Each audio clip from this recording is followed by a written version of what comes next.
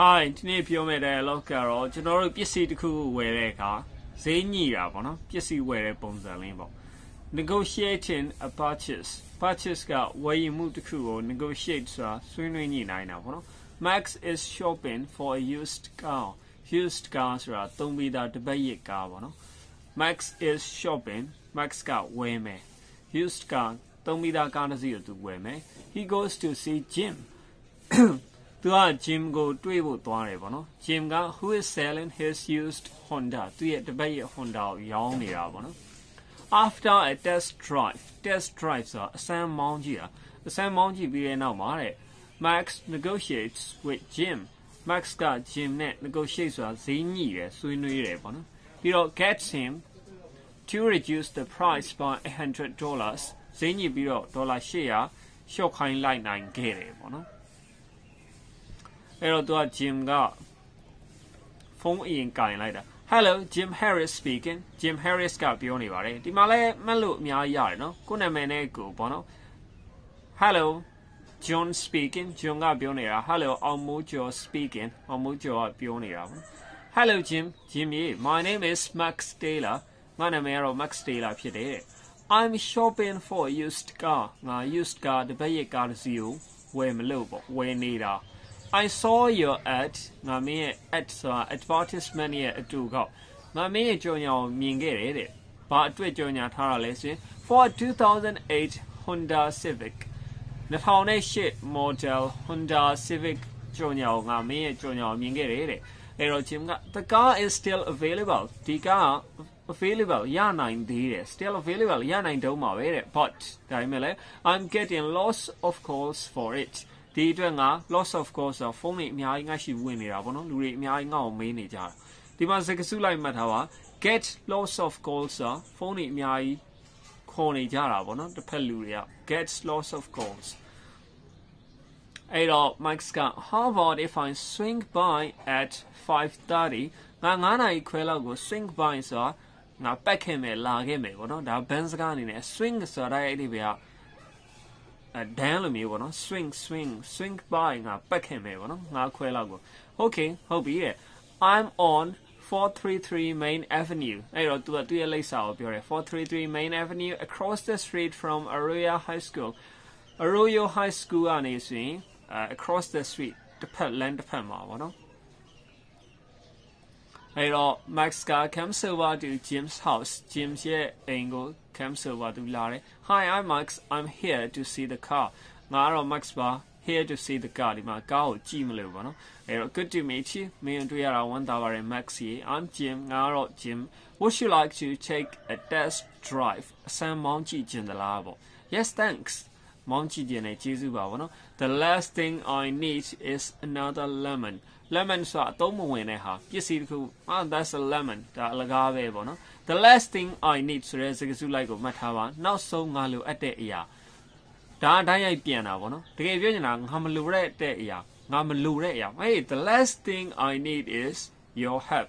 ငါနောက်ဆုံးလိုအပ်တဲ့အရာမင်းရဲ့အကူအညီပဲပြောချင်တာမလိုအပ်တာလို့ပြောချင်တာဒီမှာလဲ the last thing i need is another lemon ငါမလိုတဲ့အရာကြတော့ another lemon အသုံးမဝင်တဲ့ဟာပေါ့နော်အဲ့တော့ तू ကစမ်းမောင်းကြည့်မယ်ပေါ့နော် you don't have to worry about that မင်းတော့တော့စိတ်ပူစရာမလိုပါဘူးတဲ့ this is a great car great car ပေါ့နော်ကားကောင်းတယ်ပေါ့အဲ့တော့ they returned from the drive သူတို့မောင်းကြည့်ပြီးမှပြန်လာတယ်ပေါ့နော်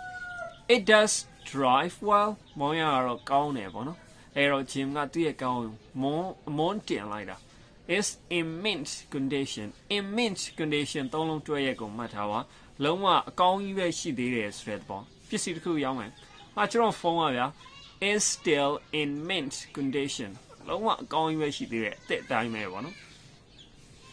You are asking $8000 for it မင်းအဒီအတွက်ဒေါ်လာ8000တောင်တောင်းနေတာတဲ့ Yes that's a steal ဟုတ်တာပေါ့တဲ့ that's a steal ဆိုတာအရင်ကိုတန်တယ်မသိရင်ဟိုခိုးပြီးရလိုက်တယ်လို့ပဲပေါ့နော်ဝယ်တယ်လို့က that's a steal ဆိုတာအရင်ရန်ကိုတန်တယ်အဲ့တော့ it's a nice car ဒီကားကကောင်းတယ် but ဒါပေမဲ့ it's a two door car တကားနှစ်ဖက်ပါတဲ့ကားပေါ့နော်သူကဒီဘက်မှာလည်းတကားတစ်ခုဟိုဘက်မှာလည်းတစ်ခုနှစ်ခုပဲပါတဲ့ကားပေါ့ I was hoping to buy a four door ငါတကားလေးဘက်ပါတဲ့အဲတစ်ဖက်မှာနှစ်ခုနှစ်ခုစီနဲ့တကားလေးပေါက်ပါတဲ့ကားကိုငါဝယ်ချင်နေတာပေါ့နော် A car like this is going to sell quickly. A car like this is going to sell quickly. ဒီလိုကားမျိုးကတော့ going to sell quickly မြင်မြင်ရောင်းထွက်သွားမှာပဲပေါ့နော် I'd hate for you to miss out. I'd hate ဆိုတာငါမုန်းတယ် for you to miss out မင်းအခွင့်အရေးလွဲသွားမှာငါမုန်းတယ်ပေါ့နော်။ तू ကရောင်းကျင်နေတဲ့သူဆိုတော့မင်းမဝယ်လိုက်ရပဲမင်းကအခွင့်အရေးလွဲသွားမှာငါမုန်းတယ်မင်းမဝယ်မင်းဝယ်သွားမှာပေါ့နော်။အဲ့လိုမျိုးမဖြစ်စေချင်ဘူးပေါ့နော်။ A car like this is going to sell quickly ဒီလိုကားမျိုးဆိုတာမြင်မြင်ရောင်းရမှာပဲ I'd hate for you to miss out မင်းလွဲသွားမှာတော့ငါမုန်းတယ်ပေါ့နော် I'll give you $7,000 ငါမင်းဒေါ်လာ9000ပေးမယ်ပေါ့နော်အဲ့တော့ Jim က let's split the difference split the difference ဆိုတာလေးကိုမှတ်ထားနော်သူကတဝက်တဝက်ဖြစ်အောင်လုပ်လိုက်တာကိုပြောချင်တာကျွန်တော်ဇင်းကြီးကြတဲ့က hey let's split the difference သူက8000ပြောတယ်ငါ9000ပေးမယ်အဲ့တော့ hey အလေက split the difference 85 uh, sorry 85နဲ့ဖြတ်လိုက်မယ်ပေါ့နော် if you can make it 7 7500 dollars you have got a deal မင်း85ပေးမယ်ဆိုရင်ပေါ့နော် you've got a deal သဘောတူညီချက်ရပြီပေါ့နော် you've got a deal ဆိုတာမင်းနဲ့ငါနဲ့သဘောတူညီချက်ရပြီ you've got မင်းကရသွားပြီ a deal သဘောတူညီချက်ရပြီပေါ့နော်အဲ့တော့ Max ကသူတိတ်မသေးကြသေးဘူး I like to sleep on it sleep on it ဆိုတာငါဒါကိုစဉ်းစားအောင်မယ်ပေါ့နော်ဒီကိစ္စကိုချစ်ချင်းမဆုံးဖြတ်သေးပဲအိတ်လိုက်အောင်မယ်စဉ်းစားလိုက်အောင်မယ်ပေါ့ Can I give you a ring in the morning ငါမနေ့ကျရင် give a ring ဆိုတာလေးကိုလည်းစကားစုလိုက်မှတ်ထားနော်သူကတစ်ချက်လောက်ခေါ်လို့ရမလား Can I give a ring Can I give you a ring ငါမင်းတစ်ချက်လောက်ခေါ်လို့ရမလား in the morning မနေ့မှာပေါ့နော်အဲ့တော့ချင်းက I'd like to reach an agreement now ငါအခုသ ဘောတူညီချက်တစ်ခုရကျင်တယ်ပေါ့နော် reach an agreement ဆိုတာသဘောတူညီချက်တစ်ခုရတာငါအခုသဘောတူညီချက်တစ်ခုရကျင်တယ်တဲ့ how about 7300 dollars 83နဲ့ဆိုရင်ရောပေါ့နော် Would you take 7200 dollars မင်း82နဲ့ပေးမယ်ဆိုရင်ရောပေါ့နော် I don't want to haggle haggle ဆိုတာဈေးနှုန်းနဲ့ပတ်သက်ပြီးညင်းခုန်တာပေါ့နော် I don't want to haggle ငါဈေးနဲ့ပတ်သက်ပြီးတော့မညင်းခုန်ချင်ဘူးတဲ့ အဲ့တော့ Max က I'm sorry to nickel and dime you nickel and dime ဆိုတော့သေးဖွဲ့လေးကိုဟိုမဖြစ်စလောက်ပမာဏလေးကိုညင်းခုန်နေရပါတော့ငါလည်းတလုံးမဖြစ်စလောက်ပမာဏလေးကိုညင်းခုန်ရတာတော့ sorry ပေါ့နော်စိတ်မကောင်းပါဘူးအားနာပါတယ် but ဒါပေမဲ့လည်း money is tight for me right now ငါအတွက်ပတ်စံအခုလောလောဆယ် tight ကြက်နေတယ်ပေါ့နော်ငွေကြေးကြက်တဲနေတယ်အဲ့တော့ Jim က okay ဟုတ်ပြီ let's close the deal close the deal ဆိုတော့လဲ ဒီသဘောတူညီချက်ကို close လိုက်ရအောင်ပေါ့နော်အဆင်ပြေအောင်လုပ်လိုက်ရအောင် I take 7200 dollars ငါ90နှစ်နဲ့ပေးလိုက်မယ်ပေါ့နော်အဲ့တော့ဒီမှာမက်ဆီယာတွေလည်းအများကြီးရှိပါတယ် close the deal ဆိုတာသဘောတူညီချက်ရအောင်လုပ်လိုက်တာ hey let's close the deal သဘောတူညီချက်ရအောင်လုပ်လိုက်တာပေါ့နော် if you can take 5000 dollars of the price of the house ဒီအိမ်ကနေမင်းကဒေါ်လာ9000ရှော့ပေးမယ်ဆိုရင်ပေါ့နော် we can close the deal now ငါတို့အခုသဘောတူညီချက်ရအောင်လုပ်လို့ရပြီပြီးသက်သဘောတူလို့ရပြီပေါ့နော် give someone a ring ဆိုတာတရားရောက်ကိုဖုန်းခေါ်တာ I'll give you a ring in the morning ငါမနေ့ကျရင်မင်းကိုဖုန်းခေါ်လိုက်မယ် so we can make plans for tomorrow night မနေ့ဖြန်ညအတွက်အစီအစဉ်စီစဉ်လို့ရအောင်ပေါ့နော် I'll give you a ring in the morning ငါမင်းကို မနေ့ကျရင်ဖုန်းခေါ်လိုက်မယ်ပေါ့နော် Now haggle haggle ဆိုတာဈေးနှုန်းညင်းခုန်တာပေါ့နော် Greg haggled with the eBay seller and ended up saving $15 off the price of the guitar eBay ဆိုတာကတော့ online platform ပေါ့အဲ့ဒီမှာကျွန်တော်တို့ရောင်းချင်တာကိုတင်ပြီးရောင်းလို့ရတယ် Greg ကတဲ့ haggle ဆိုတာညင်းခုန်တယ် eBay ကရောင်းတဲ့လူနဲ့သူနဲ့ညင်းခုန်ပြီးတော့မှ ended up saving ဒေါ်လာ15ဒေါ်လာသူအဲ save ချွေတာမိသွားတယ်ပေါ့နော် of the price of the guitar သူဝယ်မဲ့ဒီ guitar ရဲ့ဈေးနှုန်းကလည်း15ဒေါ်လာချွေတာမိသွားတယ်ပေါ့နော်သူကဈေးစင်ရင်ဈေးစင်ရင်နဲ့15ဒေါ်လာတော့ညော့သွားတယ်ပေါ့နော်အဲ့ဒါကိုသူ saving 15 dollars 15ဒေါ်လာတော့စုမိသွားတယ် in mint condition ဆိုတာအသက်အတိုင်းပဲလို့ပြောတာနော် in excellent condition like new အသက်လိုပဲ David has a large collection of comic books in mint condition in mint condition David has a large collection of old comic books in mint condition အသက်အတိုင်းပဲရှိသေးတဲ့ comic books တွေပေါ့နော် David မှာအများကြီးရှိတယ် Lemon ဆိုတာတော့ကားမှမဟုတ်ပါဘူးစက်ပစ္စည်းတစ်ခုခုအလုံးမလုံးတော့ Molly's car is in the repair shop every month Molly ရဲ့ကားကတော့လတိုင်းလတိုင်းအပြင်ဆိုင်ရောက်နေတာပေါ့နော် Watch a lemon တကယ်ကိုအသုံးမဝင်တဲ့ဟာပေါ့နော် Miss out on ဆိုတာလွဲချော်သွားတာ uh Sarah submitted her application too late submit ဆိုတာတင်လိုက်တာသူမရဲ့ application ရှောက်လွှာကိုတင်လိုက်တယ်တဲ့ too late အရင်နောက်ကျပြီးမှတင်လိုက်တဲ့အတွက် missed out on the opportunity အခွင့်အရေးကိုလွှဲချော်သွားတယ် to spend the semester in Paris ဒီ semester ကိုဒီအဖြတ်ကိုပေါ့နော်ကျောင်းမှာဆိုရင်ကျွန်တော်တို့၄လတစ်ဖြတ်၄လတစ်ဖြတ်ကျောင်းတက်ရတဲ့အခါပထမတစ်ဖြတ်ဆိုရင်ကျွန်တော်တို့ first semester ဒုတိယတစ်ဖြတ်ဆိုရင် second semester လို့ပြောရလေ semester ဆိုတာအဖြတ်ပေါ့နော် အဲ့တော့ to spend the semester in Paris ဒီ semester ကို Paris မှာအချိန်ကုန်မှုအခွင့်အရေးကိုလွှဲချော်လိုက်တယ်။ဘာကြောင့်လဲဆိုရင် submitted her application too late သူမရဲ့ application ရှောက်လို့ submit လုပ်လိုက်တာအရင်နောက်ကျသွားလို့ပေါ့ Many is tight ဆိုတာရှင်းပါတယ် percent tight ကျက်နေတာ Many is tight for Paul and Wendy right now Paul နဲ့ Wendy အတွက် percent ကျက်နေတယ်ပေါ့နော် with two kids in college ကလေးနှစ်ယောက်က college တက်နေတဲ့အတွက် percent သူတို့နဲ့အတွက်ကျက်နေတယ်ပေါ့နော် Nickel and Dime ဆိုတာအသေးဖက်လေးတွေမဟုတ်တော့တဲ့ပမာဏလေးတွေနဲ့ညင်းခုန်စည်းဆင်နေတာပေါ့နော် Mapsine Industries has a reputation for being cheap people say they nickel and dime their suppliers Mapsine Industries ကတဲ့ဒါကတော့အဖက်အစည်းကုမ္ပဏီတစ်ခုစီးပွားရေးလုပ်ငန်းတစ်ခုရဲ့နာမည်ပေါ့နော်အဲ့ဒီလုပ်ငန်းကတဲ့ has a reputation ဂုဏ်သတင်းရှိတယ် for being cheap ဈေးပေါ်တယ်ပေါ့နော် people say လူတွေကပြောကြတယ် they nickel and dime their suppliers သူတို့က supplier ဆိုတာကျွန်တော်ကဗျာပစ္စည်းတစ်ခုရောင်းတယ်ဆိုရင်ကျွန်တော်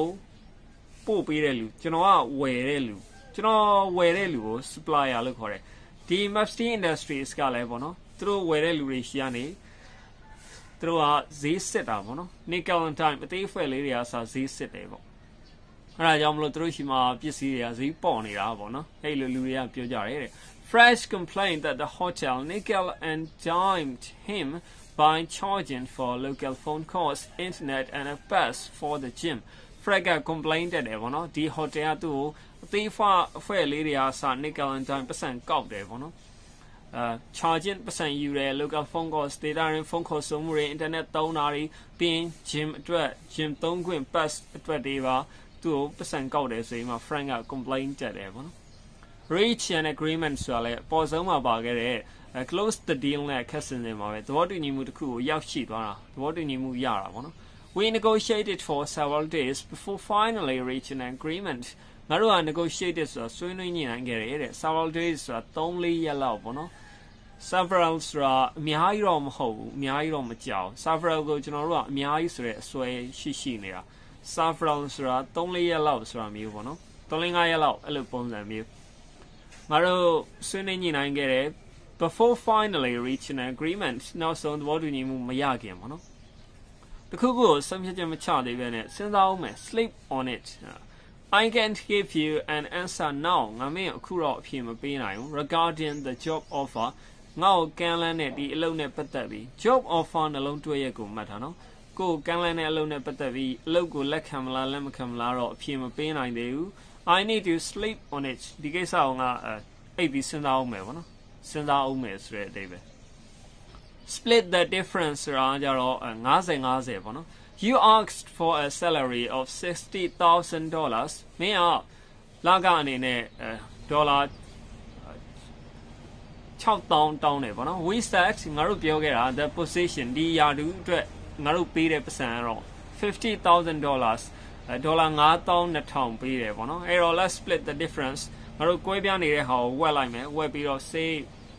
5600 sorry 56000ပေါ့နော်အဲ9600လို့ဆိုရအောင်ပေါ့နော်အဲ့ဒါဆိုရင် say ဘယ်လိုလဲဘယ်လိုထင်လဲပေါ့နော် let's split the difference ငါတို့ရဲ့ difference ကို split လုပ်ပြီးမှ save ဆိုကြပါစို့56000ဒေါ်လာ 56ဆိုရင်ရောဘယ်လိုလဲပေါ့နော်9600ဆိုရင်ရော STL ဆိုတာအရင်ကိုတန်တာအာအရင်ကိုဈေးကောင်းတာပေါ့နော်ဈေးပေါ့တာ you bought a new computer for uh 199 dollars မင်းကကွန်ပျူတာအသစ်တစ်လုံးအဲ199ဒေါ်လာနဲ့ဝယ်ခဲ့တာလား what a steal ဒါ what a steal တကယ်ကိုတန်တာပဲပေါ့နော်ပေါ်မှာဆိုရင်ပစ္စည်းပစ္စည်းတွေမကောင်းတဲ့ဟာဆိုရင် watch a lemon lemon swing by ဆိုတာခဏတာဝင်ဝင်လေတာဝင်ပတ်ခဲ့တာပေါ့နော် I forgot my jacket at your house last night မင်းညငါရဲ့ jacket ကိုမင်းတို့အိမ်မှာငါမိတ်သွားတယ်ပေါ့နော် Let me swim by after work and pick it up အလုပ်ပြီးတဲ့အခါငါ Let me swim by တပတ်လောက်ဝင်ပတ်ခဲ့ပြရစီပေါ့နော်အဲ့ဒါကိုဝင်ယူပြရစီပေါ့နော် Take for a test drive ဆိုတာကားဆန်းမောင်းကြည့်တာပေါ့နော် Before he bought his new BMW ဒီ BMW ကားတစ်ကိုသူမဝယ်ခင်ချင်း took it for a test drive ဂျင်ကတော့စမ်းပြီးမောင်းကြည့်တယ်ပေါ့နော် The last thing I need ဆိုတာအဲကျွန်တော်တို့လိုအပ်တဲ့အရာတွေအများကြီးရှိမယ်ဒီမှာ the last thing I need နောက်ဆုံးလိုအပ်တဲ့အရာဆိုတာမလိုအပ်တဲ့အရာလို့ပြောချင်တာနောက်ဆုံးမှလိုအပ်တာလေအဲ့တော့မလိုအပ်တဲ့အရာလို့ပြောချင်တာနော် I hope Rick and Jenny are planning to stay at a hotel when they visit town. Rick နဲ့ Jenny က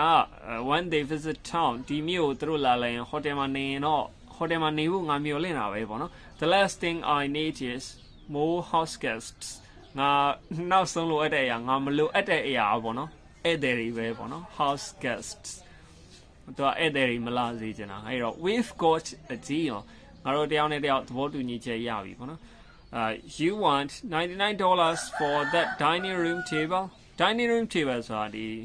ထမင်းစပွဲပေါ့နော်မင်းကဒီထမင်းစပွဲအတွက်အဲ69ဒေါ်လာရကျင်တာလားပေါ့နော် အဲ့ဆိုရင်ငါပေးမယ် you've got a deal သဘောတူညီချက်ရပြီပေါ့နော် hey you've got a deal သဘောတူညီချက်ရပြီ